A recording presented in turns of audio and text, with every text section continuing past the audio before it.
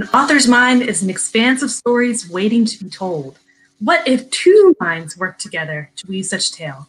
The endless reaches of imagination could become a wonderland of possibilities. And it all starts with plot. In today's episode, Clark Chamberlain is here to chat about masterminding your story with a collaborative partner. This is The Writer's Journey. Thank you for joining us. I'm your host, Lauren Moore, and with me is the beauteous Kalene Williams, our guest has been privileged to work with the New York Times bestselling authors, edit hundreds of books, and teach thousands of writers the emotional impact of fiction. Yet he still considers himself a student of story. His passion for the sto- study of story drives him forward, and he shares his discoveries in easy to learn lessons, working one on one with authors of all levels. He is the co host of the Book Editor Show, creator of multiple creative writing courses, author of five books, believer of dreams, and once poured his cooler from the mouth of a bear. Clark Chamberlain, welcome back to the show. Thank you so much for having me. It's always a pleasure to be here with you, ladies. And we're really happy to have you back. Um, it's been quite some months since you were on to talk about plot, and now we're going to talk tonight about how to work with a partner to get the best story ever uh, which is something Kalene and I, we've done a little bit of working with, with her book, and she's helped me on my book. And now we've got the expert here to explain how you work with authors too to help get the best out of their story. Yeah, yeah, I'm really excited because it is, um, and we're seeing it more and more. Um, if we look at it coming from the world of television, where you have a writer's room and you've got all these people that are smart and they've all bring their different things, uh, skills to that work, and it makes a better work. And we're seeing it a lot and a lot more with co-authoring and working well with an editor that's not just sending it away you know actually having these conversations. So i'm very excited to talk about this.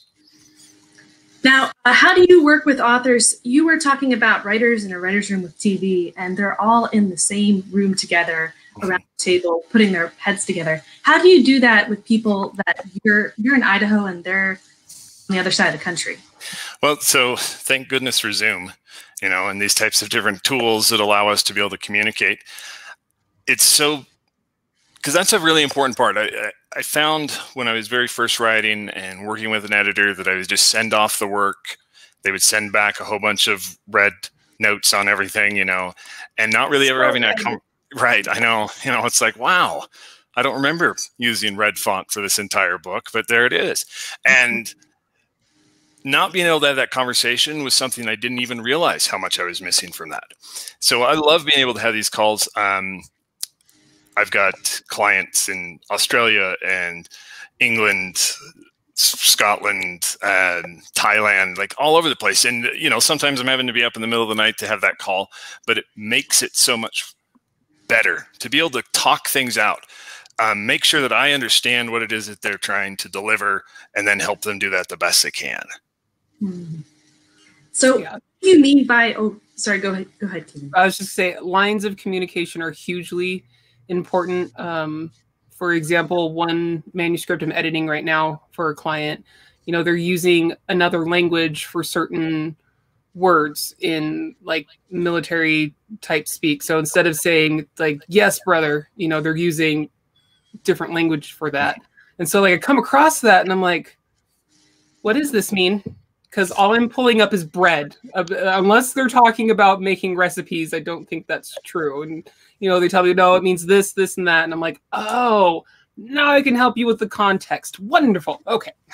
Right. Yeah. You have to be able to have uh, the same language. You got to know what it is when someone says this. That's exactly what they mean. I'll get a so for instance, um, someone sends me like maybe a plot outline and I go through this whole plot outline and I'm putting in notes. Um, before I send it back to them, sometimes I'll have additional questions. Is this the direction you're trying to go? Uh, who is it that you're trying to reach with this, with the audience? That's such an important part, you know, that we forget that um, that the audience actually can change the direction of a story if you really want to connect with them, because the stuff you might be putting in there isn't actually going to target or hit or like resonate with that audience.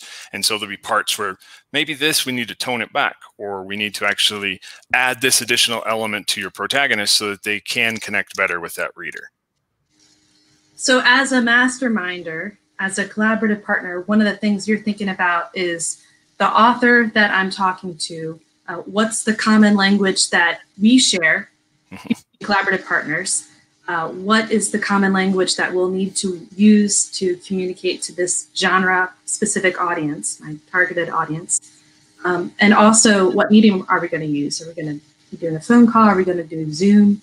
Um, what else do you mean by masterminding? Let's just kind of. Okay, so um, masterminding could be because I do a lot of one-on-one, and I don't know that you would necessarily call that a mastermind because uh, so the mastermind group that I'm in, you know, there's five of us, and we get on a call every Thursday, and uh, we bring our problems because that's the whole thing about this collaborative effort is that there's something that I need help with, and I want to talk talk it out, whether that's mm-hmm. one-on-one or with a group. Um, it can be very beneficial to be able to pull that stuff all together. Uh, and I don't know. Do you want to get into like what you should look for with a mastermind or like that whole process? Yeah, Whatever yeah. you want to give us, we're gonna soak it in, right. and I should have a notebook to take notes.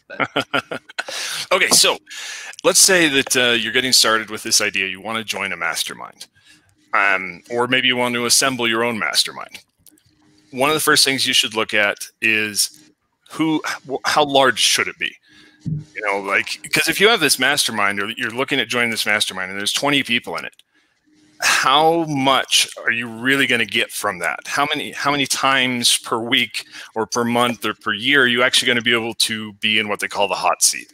Um, where i'm the one asking the question and getting feedback. So the smaller the group you're going to have more opportunity to actually get up in front and work out some of these problems. Um, so if you're starting it though, what uh, some of the things you want to look for, or if you're joining one, is what's the level? You know, like uh, it's that idea of I don't want to be the smartest person in the room. That's not going to help me. You know, like are there going to be different levels in there? People that are better than I am, um, maybe people that are not as good as I am, so that I can help them. You know, like everyone's on this journey to uh, kind of together, and we're all at these different levels. So that's something you want to make sure is you're not going to be the smartest person in the room. Other, otherwise, what kind of benefit are you going to get from that?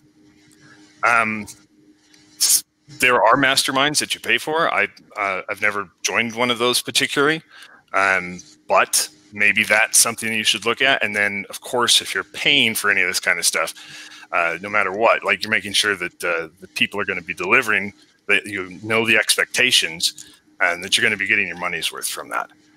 So even more so, like if you're joining something that's paying and there's 50 members, 20 members, whatever, like that's a real question. Am I going to really get any benefit from this? Especially because I'm putting up a financial um, investment in it as well. So say I'm a I, I'm a would-be space opera author, and I know that I like to get some feedback on the plot that I'm developing. I could get a group of four of my space opera friends together, uh, start a Facebook group or a messenger chat, or um, say we're meeting on Zoom every Thursday night, and we can start bouncing ideas off each other. Is that the idea? Yeah, that's the idea. Like so, um, and you hit it right there, Lauren. Is that it's people that share the same genre share the same interests you know like maybe maybe you're in a group that uh, that you're trying to market and so having people understand the marketing but if it's more of the of the content building of the story building then yeah like you don't if you are a space opera author writer you're not going to jump into a, a romance mastermind and get a ton of benefit there might be some but you're not going to get as much as if you were with that whole group, e- even in a sci-fi genre, right? Like, so the rest of them do that. Maybe not specifically down to the subgenre, but you got to be there with people who understand the audience. So, how would you run one of those masterminding sessions? Like, uh, would you take turns and do all five people in one night, or, or like give 20 minutes or 15 minutes to one person so that we all focus on one person's plot? Like, how would we set yeah, so yeah. So let's say um, you, you've set one up, you're starting this, um, you've kept it at a good number. Five is pretty good because then people can usually get through the entire group um, before the end of the call. Like if you even if you're just doing an hour long call, that you assign amount of time. Um, hey, now it's your turn to do this. Another good thing about masterminds is accountability. So like mm-hmm. the, the, one mastermind group that I'm in, you know, we start with accountability. What what did we commit to the week before and did we accomplish that? And we run through real quick with everybody. And then we get into the what you'd call the hot seat. And now who wants to go first or you know that you have it on the agenda that this is the order we go in and maybe you've got uh, someone new that's the first one every time because maybe maybe this week um, one of your members needs a little bit more time than the other ones do right? And that they've got a bigger problem. Because that's what it's all about is helping people overcome the issues that we've got you know and the questions that we've got. And especially right now um, so i was on a call uh, you know doing the story consultation with an author the other day and she just is out of the um, the creativity. You know like she's a she's a full-time author you know putting out stuff all the time and right now during this crisis uh, she's just is hit this wall you know and so we've been really working through not just necessarily the story but also like how can how can we do some more things? Do we need to have a, a daily check-in to make sure that you're accomplishing what it is you know? Uh, how do we change this up so that you can gain some of that creativity back? Because that's a terrible thing is to lose that creativity. You know a lot of a lot of what you're kind of saying this is um this is really like a mini family or a group that you can count on to. It's like you know y'all are my people that i can just be like i have this crap going on. I just need to vent for a minute. My plot's not coming out. This stuff's happening.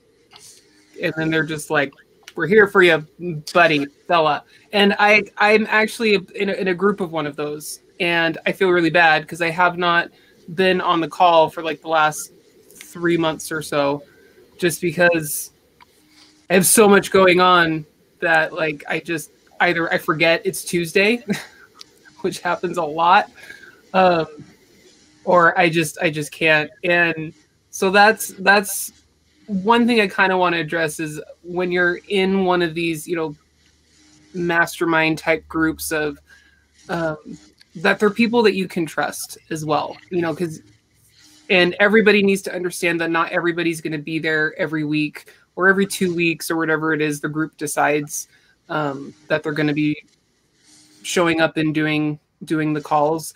Um, so that's that's been hugely helpful for me is because I, I, haven't been there in so long but they still check in on me every now and then yeah. So, um hello where have you been and i'm like i'm sorry so just knowing that they're there waiting for me to get my crazy under control long enough that i can be there for that hour is also hugely helpful as well so Right. Like, um, think back, you know, like if you ever took a creative writing class in, in college or high school, you know, and you're in there with a, a group of 20 30 other students or something like that and you do these critique sessions right and you don't trust maybe not even half of the people maybe it's less than half the people you know how can how can you move forward with confidence if you can't trust the people that you're with so yes that's a huge part of it like making sure that you're with a group that you can trust that you can rely on um, and then also like if you're setting this group up or if you're looking for a group what are their expectations you know is it a group? Because I've been in a group where it's just we come together and just chat and just kind of unload.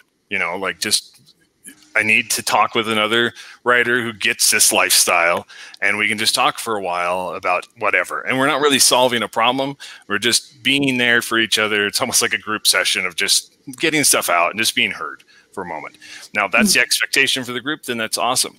Um, you know, like if you go into a group that's more directed towards we're, we're helping each other do better with our marketing and then it sidetracks all the time into that i'm just going to talk about my my personal life problems that's not helping as much right you know so like once in a while it's going to happen but making sure you know that you kind of keep on track and you've got to have someone who's in charge of that right you know maybe someone who's organized the group or that they're the people who take the notes you know that keep the what everyone committed to the week before like that's you know really helpful to be able to have someone to say oh you know okay that's cool. And uh, let's get back and who's got this problem or however you're running that.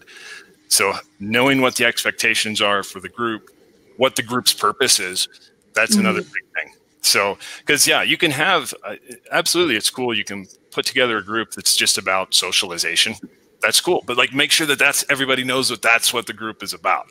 You know, mm-hmm. we're just coming together and just hanging out. Um, the the Zoom is going to be open for. We got a room every week that we're just going to be there. We're going to be there for an hour, two hours, whatever, and drop in.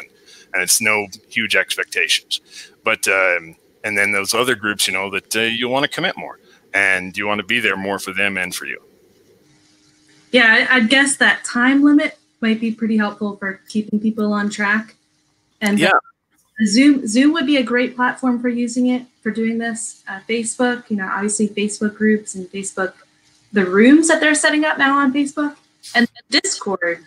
You could set up a Discord channel and use that to do uh, video chats as well as having um, threads. Yeah, and I would say, you know, even if you don't want to have your camera on, being able to have it more in the video type, being able mm-hmm. to do mm-hmm. audio and not just a, a bunch of text um, a bunch of you know like replies because someone usually always takes over in the replies and then part of the group probably doesn't feel like they have anything important to say or don't know how to say it but being able to actually have a conversation real conversation like we're having right now that's mm-hmm. that's better that's that's the goal you know so you can actually feel like i can talk i can say mm-hmm. what it is i'm actually thinking and then not having someone that's just grabbing because that happens you know you, you're going to always have someone in the group that's a little bit more um, not overbearing that's the wrong term but kind of vocal? like that right vocal yes you know wordly vocal mm-hmm.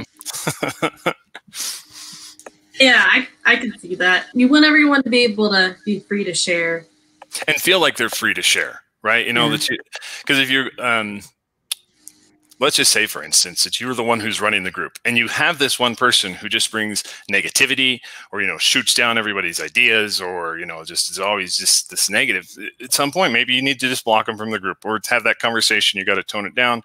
It's one one strike two strikes and then it's gone because if you have this one person that's always negative and then that starts breaking down the rest of the group they don't feel like they could even show up again that's not that's not where you're going. It doesn't have to be all like everyone's just positive and you know yeah it, that's exactly what you need to do. No but you've got to have that balance between this you know and making no, sure i i totally know what you're when i very very first started um getting into the indie published world and this was god six seven years ago i was a part of a, a local author group.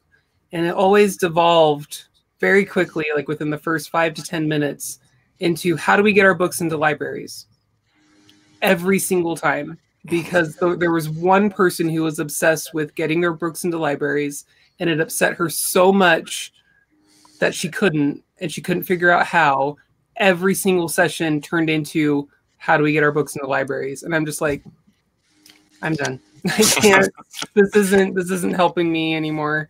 And i love you all but right like if I get it, it, i totally get it. Yeah and if it's if the group's not helping you personally then it's time to look for another group. I was with uh, a, a group of middle grade authors for a while and it was same similar.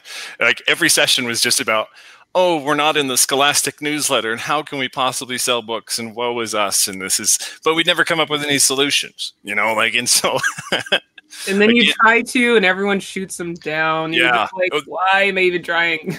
yeah, like what you know, um, there's always going to be the person who tried something one time and it didn't work, and so it certainly can't work for anyone else either. You know, like that's mm-hmm. that kind of negativity is the wrong direction you want to go. You got to be with a group who's going to be able to think outside the box, tackle something.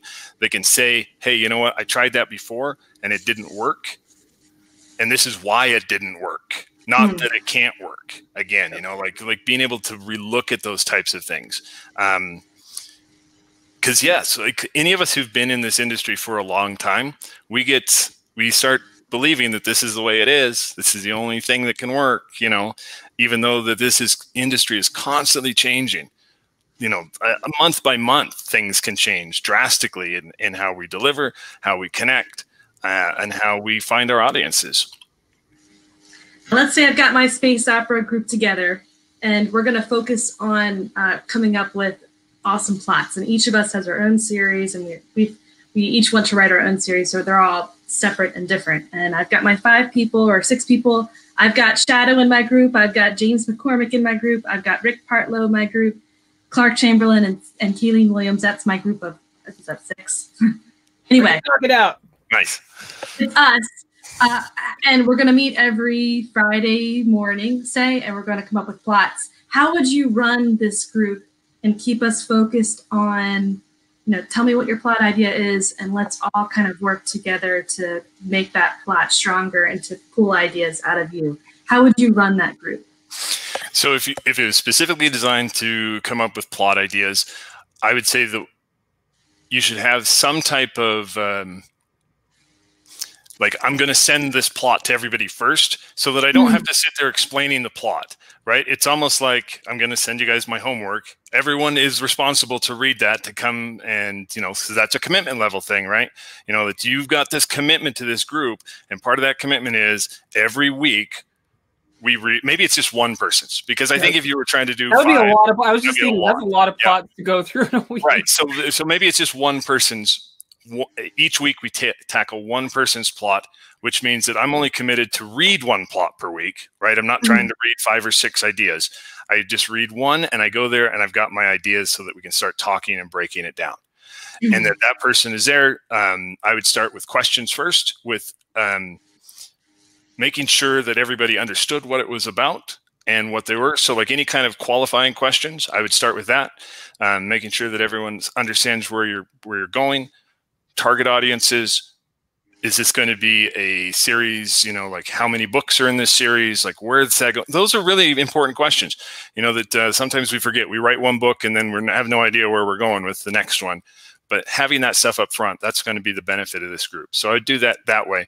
And then um, start going around right? Mm-hmm. you know like everybody's can ask the, the questions first you know making sure we understood everything.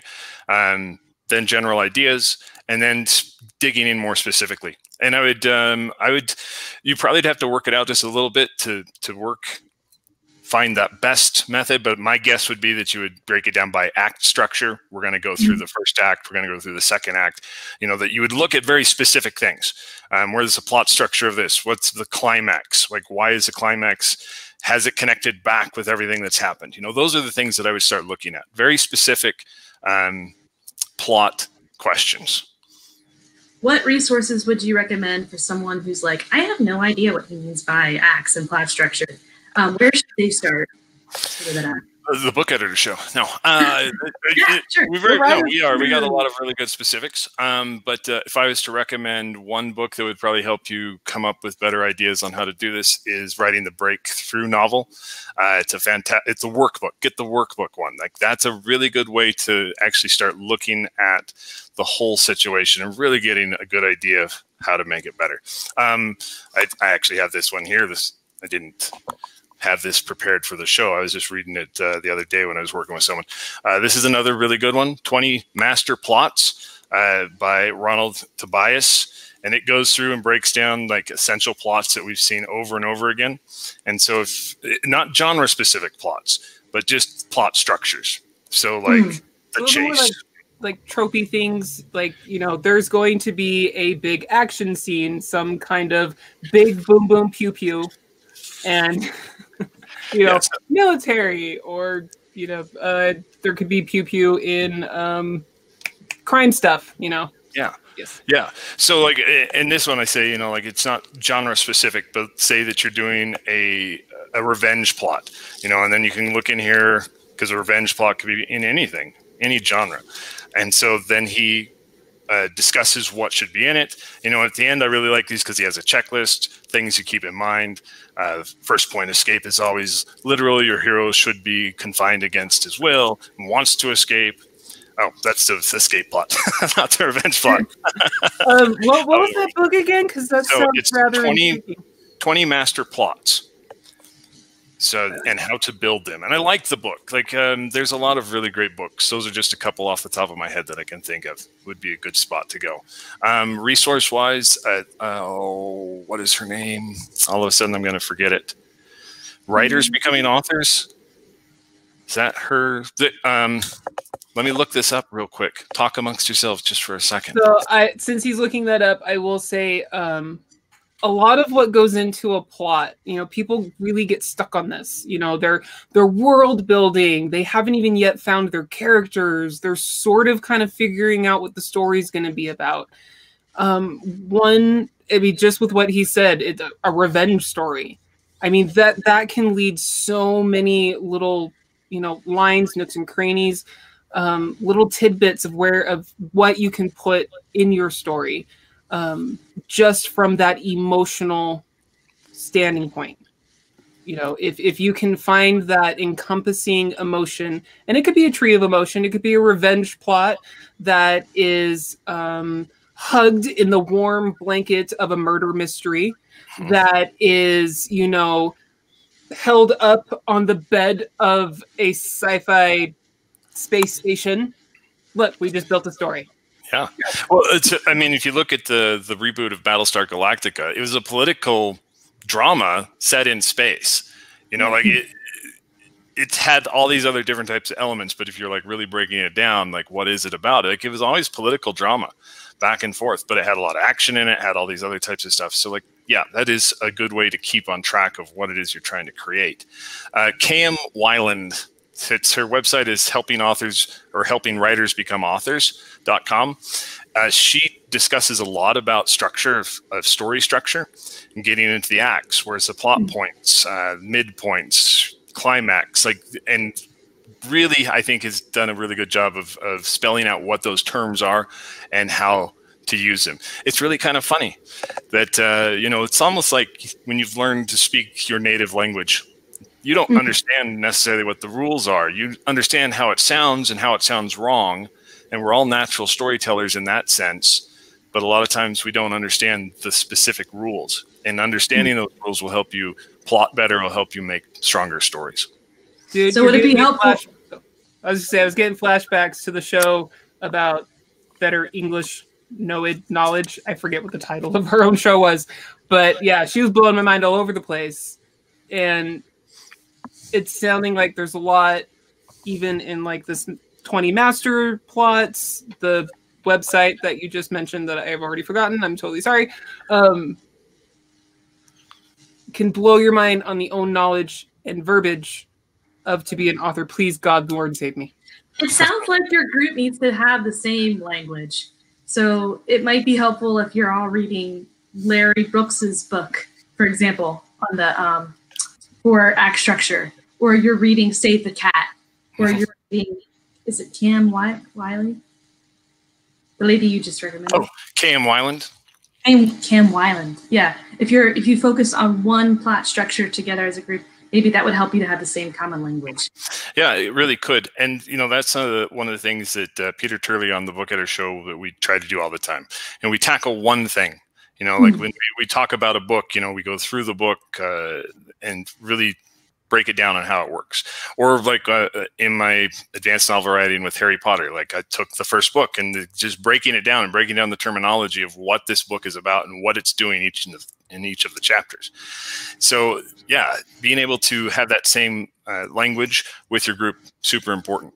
Um, I I don't even remember her name. Uh, it was a long time ago. I read this. You know, she was trying to do sci-fi. She wasn't spending a lot of time reading a lot of other sci-fi. You know, and so she's making up stuff that honestly has been made up a bajillion times before. And if if you're in that community like the, it's already kind of one of those things this is a trope that we can use and this is what we call it already. It was already there and she didn't have to reinvent the wheel. So spending time reading in the genre that you want to write mm-hmm. that's important. Yeah and that's where that mastermind would help because the other people in your group would yep. do that if you call you on it um, yeah, I've, I've spent the first half of this year trying to come up with plots on my own. And um, one of the things I've run into is they have come out kind of cheesy and um, cliched, and you can push to come up with something better. Um, but yeah, in my in my writer's cave, that's kind of where I'm at. Is uh, banging my head against walls. That's not a good place to be. That doesn't feel so nice, does it? No, it doesn't. well, but you know, on the other side, with uh, when you start doing a plot and you put the ideas, the main ideas together, it can change a lot once you get into the writing process. You know, with right. Uh, you know, the characters can take it in different directions, stuff that you hadn't seen before. Uh, some of those things that you really feel are generic or cliche at this moment, you'll find different ways to write those and make them better and stronger. Mm. That's true. so. I've heard some other advice like if you need a plot twist, come up with 10 different ideas. Because the first seven are going to be cliched or they're going to be obvious reaches and you, you push yourself the, the last three you might, you might come up with something good. But coming up with three for me is hard. Well, just a couple you know it's just like what else could happen? I don't know one of the things that i would always suggest you know anytime when you're putting things together is uh, think about the the stakes personal mm-hmm. stakes community stakes and global stakes. So there are things that the protagonist specifically doesn't want to lose you know things that you can put at risk for that individual. The protagonist always has a community right? Whether the you know it's uh, other characters that travels with you know like if you're doing a military it's a squad uh, how can you put the squad more at risk mm-hmm. and then on the largest level you know is how can you put the entire world at risk you know and look mm-hmm. at each one of those things and how you can increase it to add more additional stakes to the drama. Mm-hmm. All right, we'll go back at the stakes, but first we're going to take a quick break for our book spotlight. Alrighty, key strokers, all the strokers out there. Today's book spotlight is two authors, one book, co-writing, Murder Free by Rhett Bruno and Steve Beaulieu. Four hands are faster than two. The stars of every major entertainment industry have benefited from creative collaboration, from Spielberg and Lucas to Lennon and Mc. Oh my God, McCartney. I even practiced it. Damn it. To Jordan and Pippin. Why not take a page out of the book of the greats and use a tried and true method to produce quality books faster? In this book, you will learn almost everything necessary to co-write and release your next book, including how to identify a potential writing partner, how to identify your combined goals, how to test each other, how to develop a method that works for your individual team, how to decide what kind of team you are and which co writing style to use, how to write and share responsibilities, how to decide what programs and applications to use, how to effectively prepare and release your completed book how to set yourself up for the most earning potential. Whether self published or traditionally, traditionally published, these lessons will help you keep your new team together and your hands free of murder. Trust us, neither of us is dead yet. Of doom. Click! Bye now, you collaborators out there. Excellent. So if I'm coming up with my own plot or I'm collaborating with someone else, how important is it for me to know what the stakes are at the start before I start writing? Not important. I say like, come on, wait, what? We don't even know the stakes. Yeah, I would say if you are very first starting, like trying to come up with a plot, start with the end. Understand where it is that you're going with the end, um, mm-hmm. How do I want the climax to look at this? You know, what, mm-hmm. what's that? And reverse engineer things and start working your way backward. Um, that's one of the easier ways to do it. Yeah, and and the reason why I say that is you can get really hung up. The term world building comes to mind. Spending so much time creating all this type of smaller stuff before you actually get into putting the plot together. Now, if you know where the end's at, and you can like create a log line uh, you know, a person, a place in the uh, with a problem, and then what's the payoff? I've added a fourth P to my P's, so uh, which really helps people come up with that and putting that log line together, and then just putting together like a three act structure, not a three act structure, a a paragraph for what's going to happen in each of the three acts, just basic stuff. Like this is where I want it.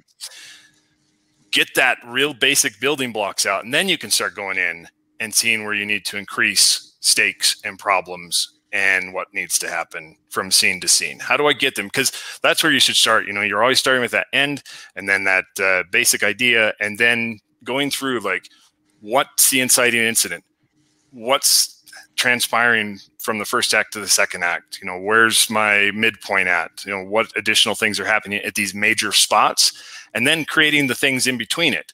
Because if I want to get to, um, I I guess goodness, it's been over a year now. Over a year now that uh, that I put together that little thing on on plotting, and um, one of the things I was discussing in there, like I love this book called Tishomingo Blues, um, and in the end of it, it's got a, a mob group from Chicago. It's got this high diver, professional high diver, and then uh, the the redneck mob, and they're down at a Civil War reenactment battle deal, and that's where the climax takes place. And so, how do you get there? How do you get all these people into this place? You know, and so then you're starting to look and work your way, reverse engineering that and putting it all together. Hmm. I, yeah, I have. Maybe that's my problem. I have to say, if I did not know what I want this whole thing to come out from, I would be a crazy person. Um, because like I just I just wrote a short story in less than a week, which is really, really fast for me. Like y'all don't even understand. This is like astro I just like hit like a thing up here that I didn't even know was possible for me. And but the the the thing is, is I knew exactly where I wanted the end to be. I wanted um this sort of emotion to be going on and I wanted this particular thing to be the hero. I, I can't say what it is yet because it's not published yet. So, um, but through that, you know, the beginning and the middle, I mean, it went through quite a few different changes in that time, but my goal was always this emotional endpoint. And knowing that helped immensely. yep. Because if you don't put a target on where it is you're trying to go, you might as well just be pantsing you know, just you know, just right. So, but if you really want to take advantage of what plotting is and putting things together, you gotta have that end at the very beginning. Like you gotta know where it is you're trying to go. And I just want to say, pantsers out there, I am a pantser through and through. Like I try to outline, and then it turns into this never-ending mess of I'm never gonna write the book. Um, so I have to do super duper minimal you know, I know exactly where I want the ending to be, and then like maybe something cool in the middle, and then I'm just in there and just like all these things, and I'm just do do and no, I'm gonna go back to, I'm gonna go over here. This is why I can never. Anyway, but yeah, uh, pantsers, know your ending. Pantsing will be funner, you know, maybe. it, it, should be, you know, like because then you know where it is you're going, and you don't get stuck and then you can jump ahead. Maybe you know you're stuck on a scene, but then you can jump ahead because you know what that next scene is going to mm-hmm. be because it's more directly connected to the end. Um, another idea that I, I like these days is I tell people to what kind of fun stuff would you like to see your characters do in the mm. book? You know, write up a huge list of things that could be fun.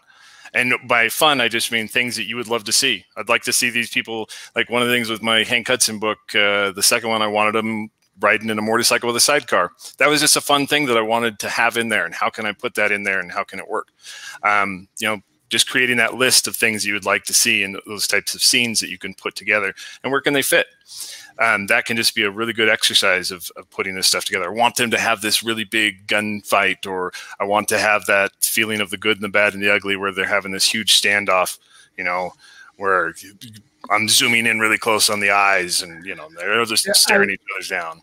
I will say I I'm feeling that one because in um, my collaborative work that's coming out soon, um, I specifically wanted raining confetti. I wanted an explosion of confetti, like a freaking confetti party, and it's a military sci-fi book. and my co-writer is like, "We're not having confetti." I'm like, "We're having confetti." and it's happening. And I'm going to figure out a way to make this confetti happen. And I did it. Nice. There's confetti in the military sci-fi, and I'm so excited. and uh, it, that's one of the things, though. Like if you, it helps to be excited about what you're going to write. Mm-hmm. If you're not feeling it, and you don't have those things, you're like, goodness, this, I'm really excited to try to put this together. What's going to keep you writing? You know, what's going to keep you motivated to get to that next spot? Hmm. So even if it's a cliche, like how can you make it not cliche? You know, like um, one of the cliches in most middle grade is, you know, you've got to get the kid away from the parents. And a lot of times the parents die, you know, like that's just like a normal thing. And so I was like, well, how can I get my, my kid away from the parents? What if I make them old? Not just make them old, but like magically all of a sudden now they're old and senile, you know, and so that they no longer are there. Like that's a change on that normal cliche. So yeah, just look for different ways to to subvert the expectation. So when you're hmm. plotting and you know your tropes, you know you've you've you've seen the tropes, you know your genre, what what readers are expecting to find because they're still going to want to find those. They're still going to find like you said that the parents are gone. But they don't have to be dead. Yeah. Um I, have you seen the Joker movie? Joker. Which one? The the the last one. The movie Joker. Maybe. So okay. So uh super sad movie, like ridiculously like just made me like just depressed and all this type of stuff. It's uh has mentions of you know the the Bruce Wayne family has mentions of Gotham. We have Joker, but it's not it doesn't hit the rest of those superhero tropes. And so mm. like that, it was almost like we've got this really cool story. Can we borrow the names of your DC Universe stuff that we can just toss it on top of, and then we can, you know, get some people excited about it? So, it because if I'm going in, sad, right? Yeah. So if I go into something, I've got certain expectations as a reader, as a viewer, and if those aren't met, even if it's really good, you can still feel let down. It's like, but it wasn't in in the Batman universe. I just it wasn't superheroes. So it sounds like you need to think about what do what fun things do you love and do you want to have in your story. But then once you have that scene in your mind of what you want to include, you got to think what makes it fun for the reader, or yep. what makes it um, sad or painful or exciting or terrifying for the reader, and then how can I um, how can I leverage that? How can I emphasize that? Right. And and again, when I say the word fun, I don't mean that it's jolly fun and, and yeah. everything. What do you think would be fun? It could be that, you know, that uh, you're doing a, a, horror genre book, you know, and it's this super scary moment, right? You know, and that's a fun thing you want to see in the book, right? You know, it's fun for you to write it, not that it's fun it's it's not a you know a happy happy joy joy. Right. It's something it's, that you're excited about writing. It's something it that you want to see. joy, joy. right. It just doesn't mean that that is what it is. Yeah. Yeah i just read ready player one. Mm-hmm. that book feels like it was planned plotted written edited from you know from start to finish all on love. This guy loves the 80s so much and his characters love the 80s so much. That drives the plot. It drives um, the prose and I can see where he he thought about everything that he loves about the 80s. Let's put this in the book. Right. And he fits it in. It's good. No, the book is really good, much better than the movie was. Um, and exactly, like what are those things that you want to see in that? And so that can help uh, design additional scenes because yeah, you're going to have these pillar scenes, right? Uh, inciting incident, climax, midpoint, uh, Dark Night of the Soul type of things. Those are going to be very pillar, and they're going to be in your mind. You got a lot of scenes in between. What do you want to see happening, and how can you arrange those in a way that will make it easier for you to put that down on paper to plot it, and then of course, which should catapult you, helping you into write it. Um, one thing I actually want to get back to or circle back on uh, the book that you had talked about, like understand that a, that a, mastermind is not a writer's room, right? You know, mm-hmm. like you could have a, a collaborative writing group where you're working on the same thing, right? And you don't want that to um, fall apart into a group high school project where you've got one person who does all the work and everyone else is just kind of along for the ride. Okay, so like when you've got that collaborative writing group, even more so that you're wanting to set those expectations. What is everybody's job? What are they supposed to be doing? What are they going to contribute every week? So you don't have someone who's just writing the coattails. Yep. Slapping the other person's name on it. Yep. Can you give examples of how you would set of different roles there could be and how you would set that up? Well, if you if you take a look like at a traditional writer's room, you know you have a, a showrunner, the person who's overall in charge of everything. Um, you could actually set it up with you assemble a group that you have one person who's amazing at writing dialogue, another person is much better at doing settings, uh, someone who is your overarching um, plot and making sure that everything is is especially if you're going from series to series. I, the word is escaping me right now, but that they understand he had a black leather book in the last one that he carried with him and we got to make sure that that's in here continuity like someone who's keeping that continuity with everything that's going from book to book um, but you got to have that lead person someone has to be in charge of the circus you know because other than that it's just going to devolve and fall apart Yeah, you definitely have to have a leader, and right out of the gate for everybody. Sorry to interrupt you. um, um, like one-on-one collaborations where it's you and another person. You're writing a series together. Um, one of you has got to be the lead guy in like the, the final decision maker, the, the one who's like, this is this the sentence is fine, the scene is fine. No, there's not going to be a Sarah. You know, whatever the thing is there's got to be that person who ends discussion um because if not then just like clark's saying it ends it just becomes chaos you know it's the it's like a anyway but yeah that's all i had. Yeah. No, that's it. It's so so important. Um, another thing that I do when I'm doing consultation work, you know, the first thing I do when I get on the call, I say, you know, like this is your time. This is all about you, but I need to know what your expectations for for this call are for, you know, or, or, or what your expectations are during this call, so that when you're done, that you feel satisfied that we've accomplished what it is. And I write that down, and then when we get to the end, I circle back. Did we meet that expectation?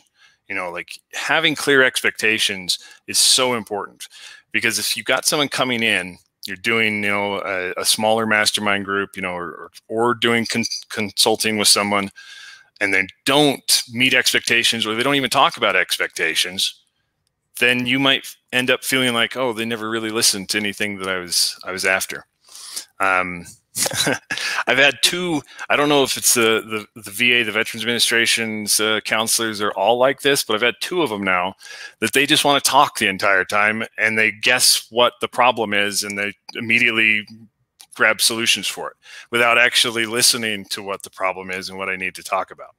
And so that can be super frustrating. So again, like you can uh, put that over into any type of writing group, collaborative group, mastermind, uh, consultations. You know, if you're not being heard and they don't really even understand what the problem is, which is what I was saying. Like if you're doing the plots, that you take a moment to make sure people ask questions that they understood what that plot was about or what was going on there.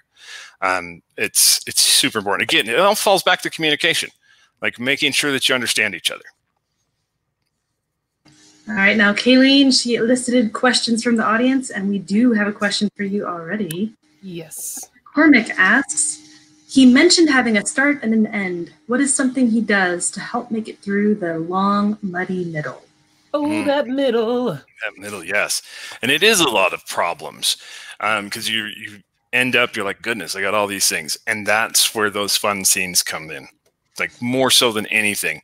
Like how can I make this something that is interesting to me? Because if it's interesting to me, hopefully it's you know it should translate as interest to them. Um, again, pillar points. So you have a midpoint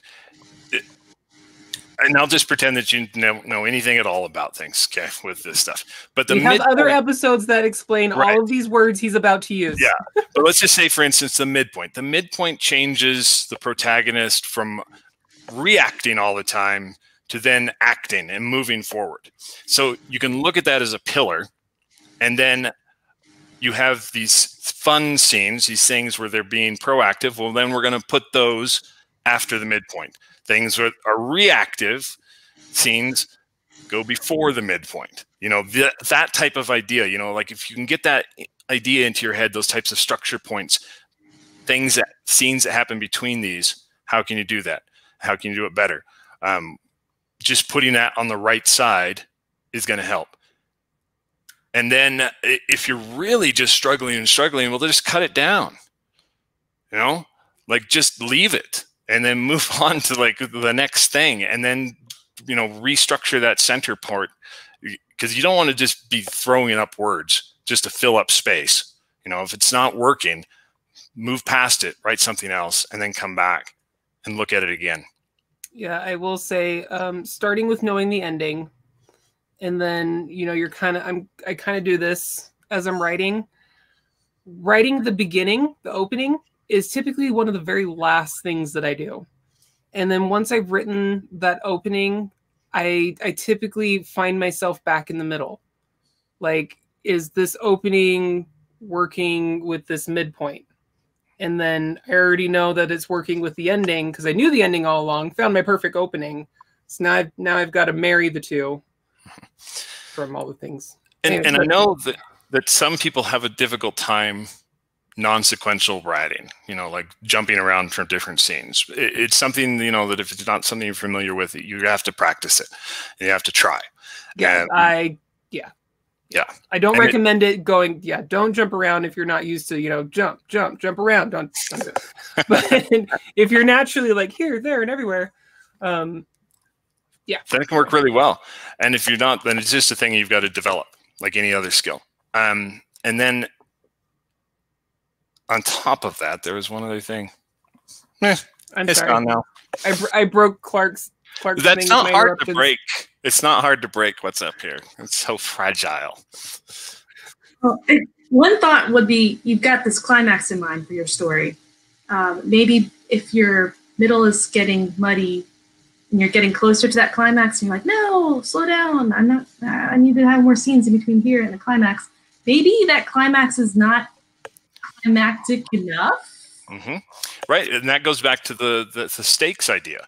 So maybe the climax you have only affects the community, and maybe that then you'll move that back to your midpoint or back to the Dark night and then the Soul, and then you do something bigger that's more world threatening. You know, up the up the game, up your stakes. Yeah, yeah, more intense. Yeah, and um, and just because you have the the plot structured out to begin with doesn't mean you can't change it. you know that you can change stuff around. Uh, may you know maybe maybe you have picked the wrong spot that it starts. Maybe it started before there. Maybe it started after there, and maybe there's more stuff at the end. You know that you could put in instead. So just be flexible. Yeah, absolutely. tip I've heard it from a number of sources is often the first five pages of your novel don't need to be in there. Mm-hmm. And then the story gets better. Yeah. a lot of, uh, you know, the, especially when you're getting into the writing, a lot of it is more about just getting your thoughts out, not necessarily what the story is. That's a really good point. Yeah. I, I will say um, one one story collaborative collaboratively written if i could talk tonight um, I mean, we had it planned out and we have, you know, our structure of how we work from beginning to finished product. And I'm putting on the finishing touches. And I'm like, it's not done. I'm like, we need like one or two more chapters in this beast. Thankfully, we had already planned out book two. I literally yanked the first two chapters out of book two and put it at the end of, of book one because it finished out book one stronger than it began book two.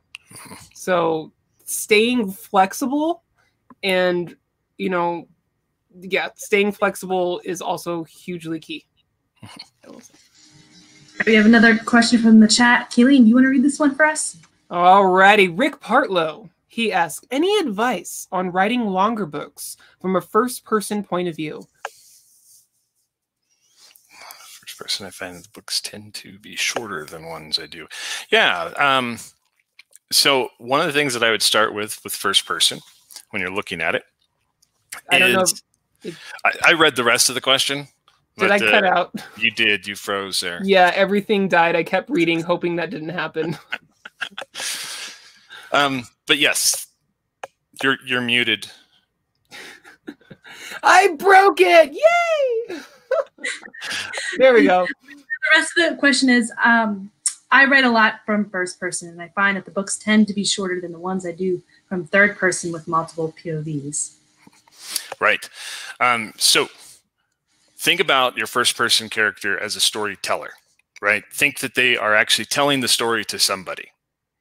That can really help to then what in this particular scene would they tell that person?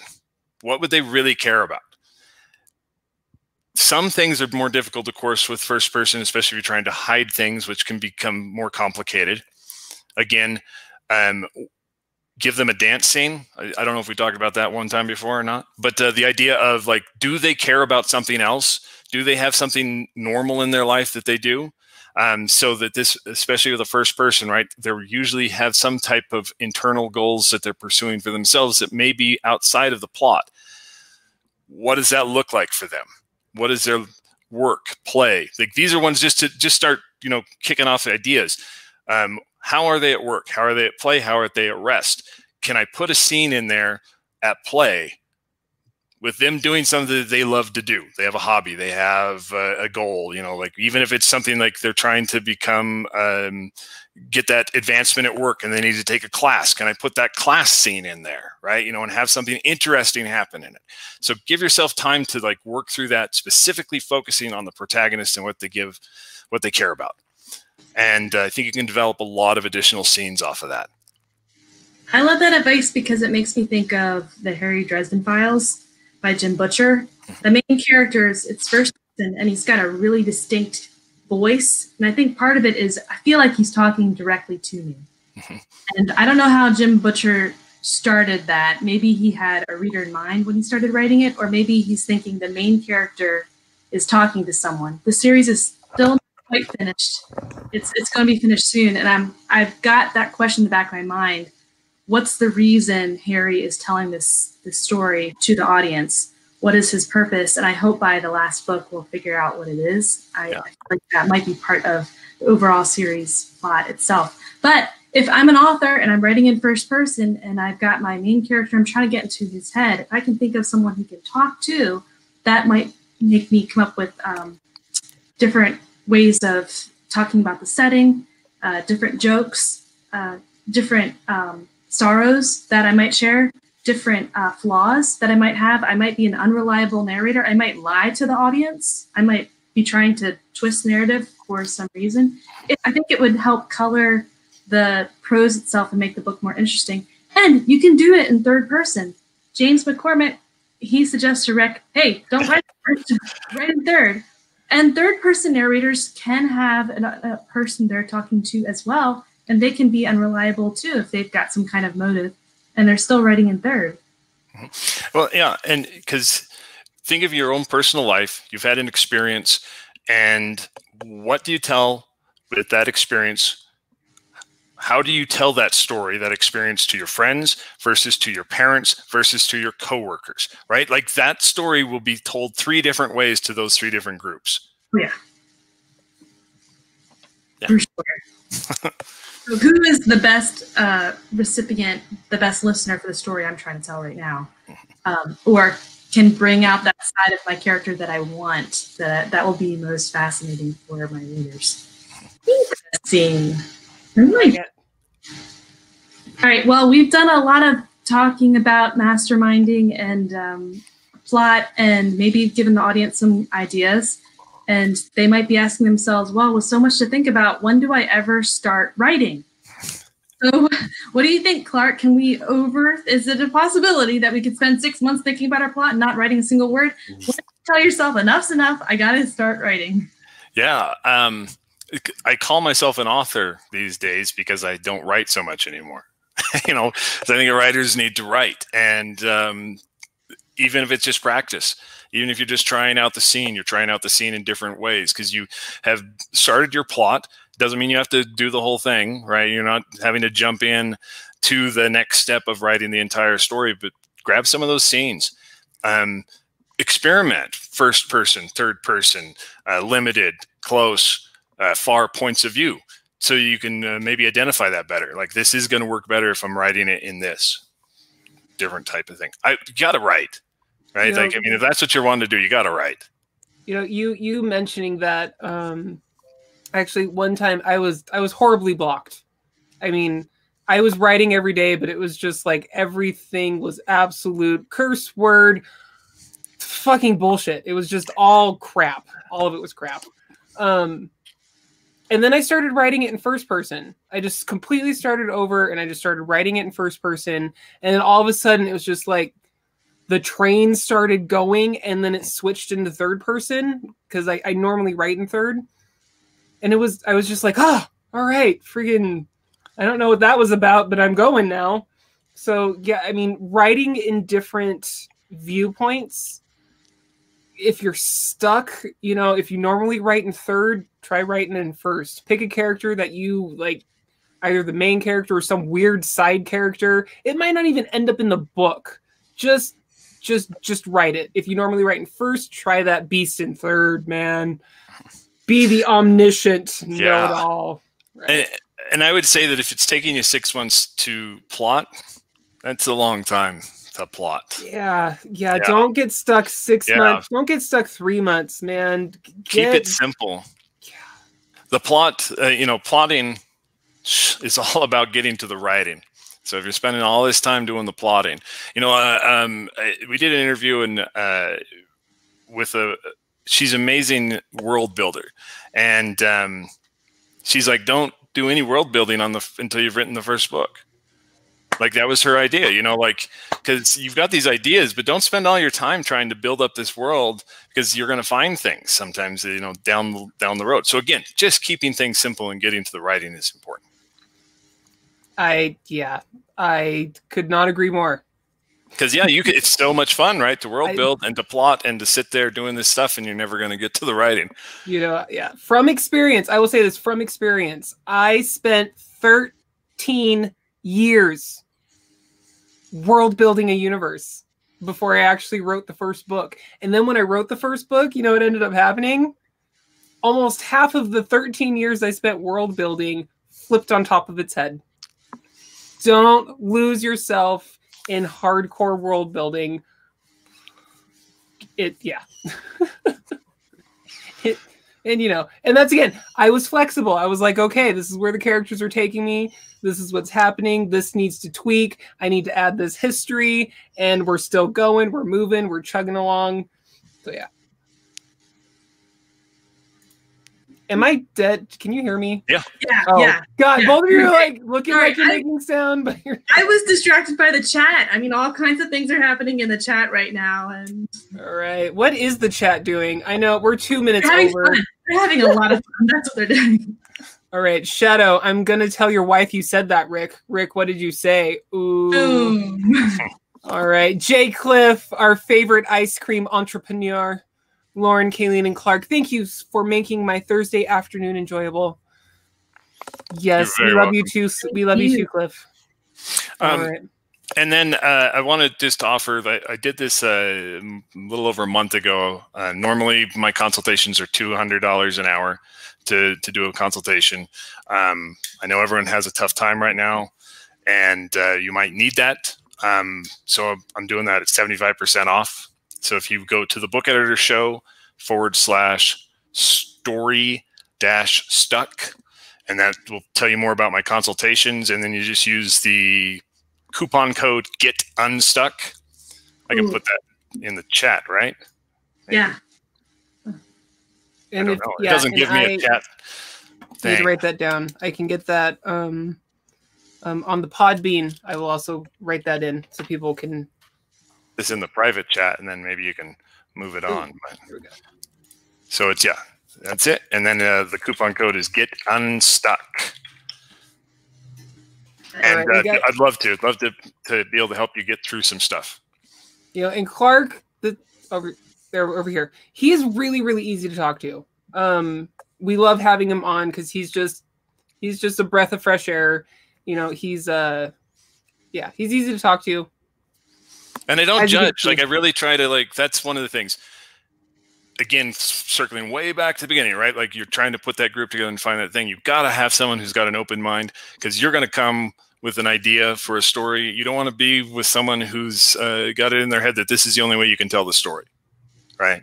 So like having that open mind important.